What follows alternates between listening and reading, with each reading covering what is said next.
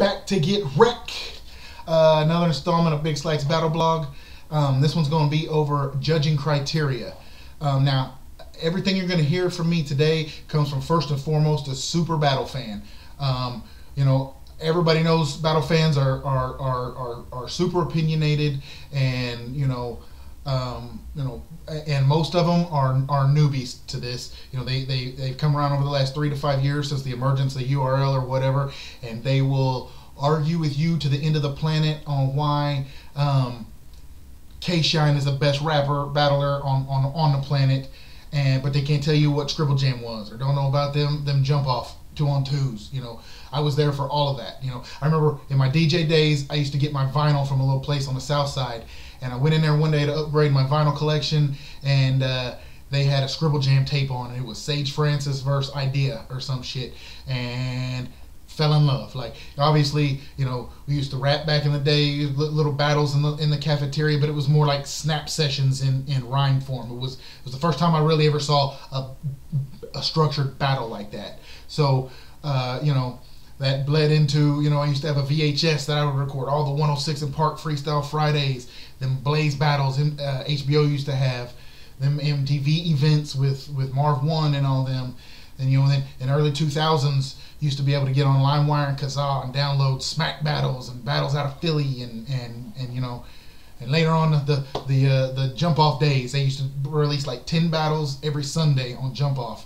And uh, I used to get up every Sunday like it was Christmas morning and wait for them 10 battles to be released. You know, I've, been here for, for all that. The emergence of Grind Time, all that, every step of the way. So, you know, historically certified battle mark.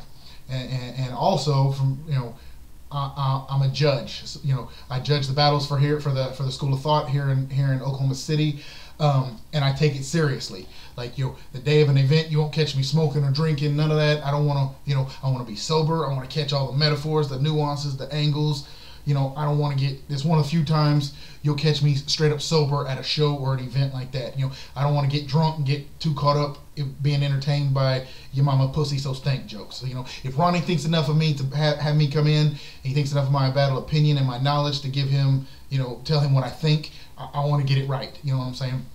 So I have a unique outlook on battles being you know a battle fan for you know 15 to 20 last 15 to 20 years and judging live battles you know what i'm saying? So um, you know that being said the first thing i want to get into is should battles be judged at all? The URL um, this is the pinnacle you know everybody's striving to get there like i said before. Um, they don't even judge their battles you know what i'm saying? It's kind of like the you know the nba not even having refs or, or, or, something along those lines. So every other battle league on the planet has their battles judged except for the top dog league. There's something to be said for that. They don't even judge their battles. You know, um, you know, King of the Dot, Grind Time back in the day, all these other leagues judge their battles, but they also do a lot of promo battles. When a bigger name comes in or whatever, they won't uh, have it judged. It's just promo. Um, I think people do that because they're scared of taking a loss due to bad judging you know all, all this time and effort goes into battle matchups. Like you know you, quality control you're not even good enough to be in my league or these two guys styles clash so that wouldn't be a good matchup and these two do so we got to make this happen. So much is, is is goes into quality control for the battles and there's almost none of that with judging you know you know 10 minutes for the battle you you you and you y'all are judging you know and and two or three of them cats aren't even from the battle culture. They may be rappers or, or whatever but you've heard me say a million times just because you know rap, hip hop, and rap on a track, rap songs, don't mean you know this necessarily. So, you know, I think there should be that quality control with the judges. Just, you know, there should be as much quality control with the judges as there is uh, the battlers. You know, each league should have five to seven judges uh, or whatever that they a pool of judges that they pick from every time. That way, it kind of goes across the board what to expect from this from from this league and these judges, and the battlers have a better uh, idea of what to go for and what not to go for. You know, um, which leads me into how do you judge a battle? Um, you know, Nameless and King of the Dot has some kind of numerical thing that he does, the 2.0 system or whatever, and I don't think you can break it down to a formula.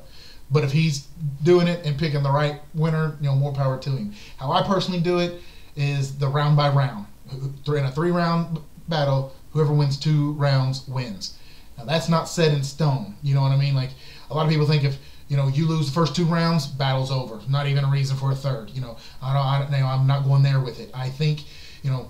Even though I just said you can't numerically break it down, just for argument's sake, let's say you win the first round nine to ten, and you win the second round nine to ten, and in the third round your fucking opponent snaps and your material is subpar, and he wins ten to six you know that's a bigger margin for that one round than the other two rounds combined. So I would, you know, even though you won two rounds, I still would give it to the cat that only won one round.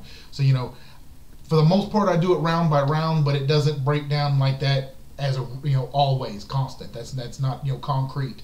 Um, you know, if you choke, you know, there's a million things that go into that, which leads me into if you choke, does that equal an automatic loss? Um, a lot of people, you know, I don't think it equals an automatic loss it definitely hurts you. A lot of people will say it, it you know it equals automatic loss for the round. You know, I don't necessarily even believe that. You know, it, you know, for the most part, yes. If you if you choke, I, you you will lose that round. But say you know if you're spitting some material uh, uh, at a ten and you stumble a little bit and get right back into your shit, and the other cat is spitting a seven and he spits all the way through and doesn't stumble, I still may give you the battle, the, the round, even with that stumble. Now, there's a, a, shitload of ways to choke. There's the stumble and get back to it. There's the repeating your last half, your laugh half, last half of your bar multiple times, then get back into your shit. There's the freestyle till you get into your shit. There's the fucking oh shit during the headlights, stop rapping altogether. You know that that stop rapping altogether during the headlight shit will cost you the battle per, pretty much. That you know, for for the most part, you can't ain't too many times you can recover from that completely. Um, so you know, if if you if you're if you're gonna freestyle to try to catch back onto your shit, um, don't point out your freestyling and don't point out that you fucked up. Like um, Dilemma versus Young Verse at the last School of Thought event he said he was he was rapping, st- stumbled, said, "Oh, I fucked up," then went right back into his writtens. And had he not pointed out that he fucked up, I don't think we would have known he fucked up. So you know, don't it's all freestyle off top of the dome. Don't don't freestyle about freestyling. You know that shit's gonna hurt you. You know, do what you got to do to get back on your written material and and and keep the shit going. Um, now I saw online where some judges are you know were apparently defending using crowd reaction as a as a uh, criteria for who, who won the battle, and I and I hate that. Let me tell you why. Um, you choose judges that are knowledgeable about battle culture, that understand subtle angles and and and you know maybe personals. If you didn't watch, you know, I bring up something you said three battles ago. If you didn't see that battle, you don't know what the fuck I'm talking about. But a judge should know that. You know what I'm saying? Um, you leave it up to the crowd to decide, and they're gonna pick, you know, the hometown guy obviously is going to have a lot more reaction. You know, there's a gang of girls in the in the audience. They may cheer, scream hardcore for the cute one, the light skinned cat, whatever the fuck.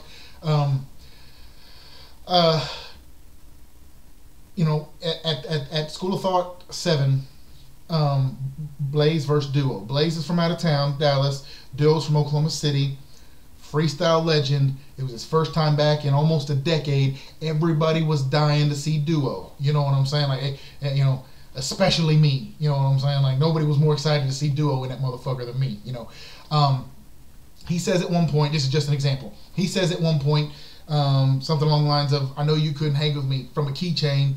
And it went with the rhyme scheme. It, it was really dope. You know, it sounded really dope with what, how he built up to it, and the crowd, crowd popped. You know, love, crowd loves it. A few minutes later, uh, Blaze says, um, "You're you're good, but I'm a god." Poseidon isn't threatened by Michael Phelps. Crickets. You know what I'm saying? Um, now, if you compare the two lines, you know, Duo's line barely qualifies as a punchline, or, or and it's not hard hitting. You know, there's not much cleverness to it when compared to the the Poseidon Michael Phelps line. You know, um, you know, I think a lot of people just missed it in the moment in the audience. I think if you took a big number of the audience and set them down after the battle and explained who Poseidon was and all that, they probably still wouldn't get it. You know what I'm saying? So just the crowd isn't qualified to judge a battle. Is what I'm saying. But if you go off of just them two lines and the reaction it got, Duo wins that. You know, for on on a less clever line and you know that's just an example that's you know that's one line from each cat in a whole battle you know i'm just using this as an example to, to get my point across as to why you don't use crowd reaction as a as a criteria Um, you know, but apparently that's a no-no for me. But apparently, a lot of cats are out there judging battles based on, like, you know, if if you're an MC and you and you can get people, you can get the crowd on your side, whether you're rapping at a show or or, or in a lunchroom or a, in the park, wherever the fuck. If you can get people to go, oh wait, what? He's rapping. Let me go hear this. That you want that. That equals CD sold. That you know that's what you want to get people's attention. It just doesn't necessarily help you in a battle. It helps you intangibly in that if you get the crowd on your side, that helps your confidence, and you're like, yeah, I, I got him now. Or, or if if you're rapping and the crowd's not on your side, you start questioning yourself. Oh shit, maybe I'm not as hot as I think I am. You know, so it intangibly helps you or hurts you, but it doesn't go into, uh, as far as I'm concerned, doesn't go into a judging criteria. Um, so yeah, uh, judging criteria that wraps up this installment of the Big Slack Battle Blog. Uh, if you liked it, give me a like. Subscribe to my YouTube channel. Uh, if you got battle rappers or fans on your Facebook, your Twitter, whatever, retweet me. Uh, you know, reshare me. You know, all that. Uh, yeah.